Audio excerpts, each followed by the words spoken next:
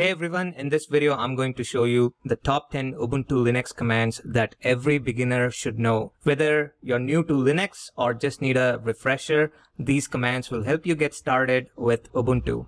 Before we get started, make sure you have Ubuntu Server 22 installed on your system. If you don't have it installed, you can download it from the Ubuntu website. I made a video on how to install Ubuntu Server and I'm going to put the link in the video description. The first command we are going to look at is cd. This command is used to change directories in Ubuntu. For example, if you want to navigate to your downloads folder, you would type cd downloads, press enter, and you're inside of the downloads directory. The next command we are going to look at is ls. This command is used to list the contents of a directory. So if I type ls and press enter, it shows nothing because I don't have anything in downloads folder. But if I go back by typing cd dot dot and type ls and press enter, it lists all the folders within my home directory. And from here, if I type ls directory 1 and press enter, you can see it lists the files which are in directory 1 folder. And that directory has only one file. The pwd command is used to print the current working directory. For example, if you want to know which directory you're currently in, you would simply type pwd and press enter.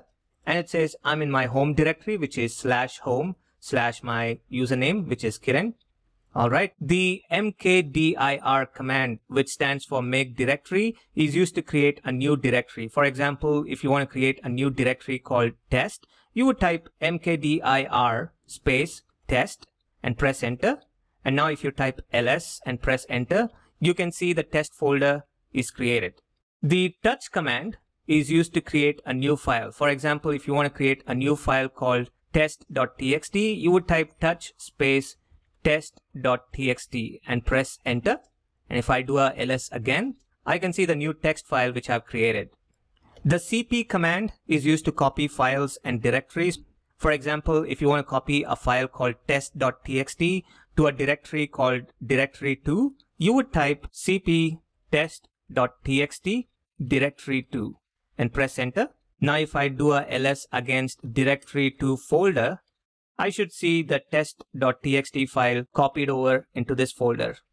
Alright, the mv command is used to move files and directories. For example, if you want to move a file called test.txt to a folder called directory1, you would type mv test.txt, which is the file name, and the folder name, which is directory1.